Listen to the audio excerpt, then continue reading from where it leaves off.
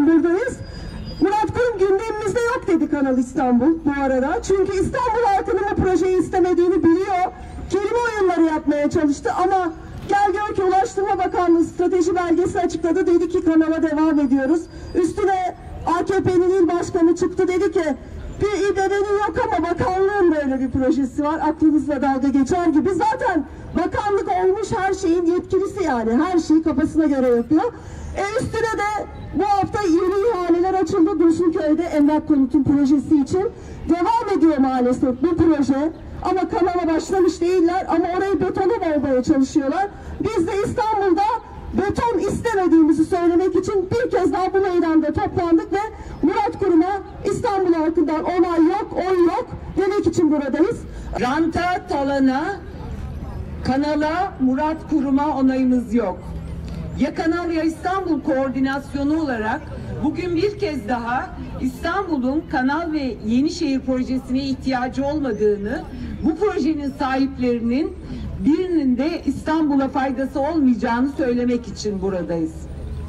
AKP'nin İBB Başkan Adayı Murat Kurum'un adaylığı açıklandığından bugüne İstanbul halkının ezici bir çoğunluğunun karşı olduğunu bildiği çılgın proje Kanal İstanbul projesi ile ilgili sorulara yanıt vermediğini ya da gündemimizde yok gibi yanıtlarla geçiştirdiğini görüyoruz kanaldan kazı nedeniyle ortaya çıkacak en az 2 milyar metreküp hafriyatın nasıl taşınacağı çözülemeyen bir sorun. Bu hafriyat İstanbul'un 50 yıllık hafriyatına eşit. Bu hafriyatın günde 10 bini aşkın hafriyat kamyonu ile taşınması bekleniyor. İstanbul'un, İstanbullunun açık biçimde zehirlenmesi anlamına gelen bu projeyi gerçekleştirmek için yeni yol da lazım, otoban da tabii. Zararı halka, doğaya ama Murat Kurum için bunun bir önemi yok. Çünkü öncelikleri farklı. Geçen yıl 6 Şubat'ta yaşadığımız Maraş'tan Diyarbakır'a, Adıyaman'dan Hatay'a, Adana'ya kadar yayılan depremde resmi rakamlarla 53 bin üzerinde canımızı yitirdik. Kentler yıkıldı, yok oldu.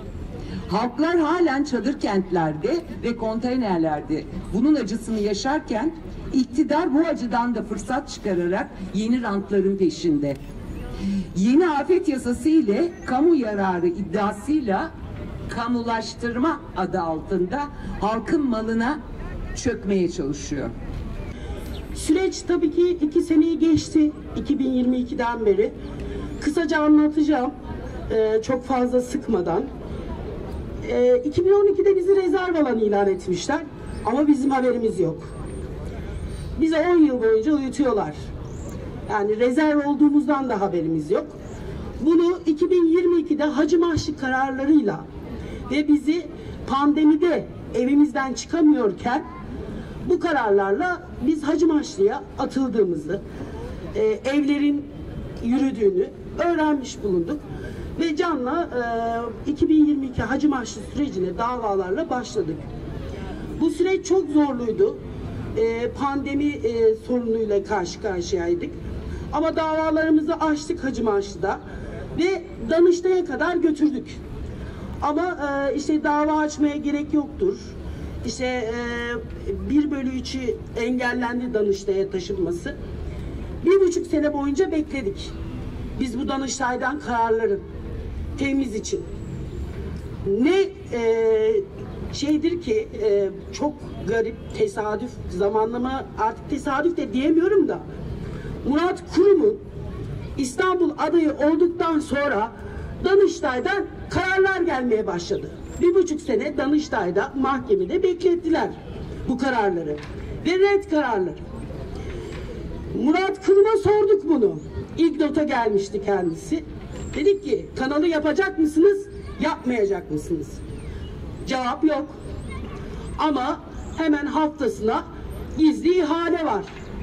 Bu ihale nedir? Ee, halka cevap yok ama ihale süper. Gayet güzel gizli gizli ihalelerini de yapıyorlar. Geçen seneki seçimlerde biz nöbet başlattık. Ve 2022, e, 2022 ve 2020 imar uygulamalarına sürekli dava açtık. Şu anda da 66 tane iptalimiz son evlerde, son evler de bu işin içinde. Sadece Şahintepe'yi bölmeye çalıştılar. Siz son evlerdesiniz, siz Aşık Veysel'desiniz, siz tepedesiniz. Hayır, böyle bir şey yok. Şahin Tepe'nin her yerini kanal bahanesiyle rant kapısına çevirdiler. Bütün problem bu. Kanalı son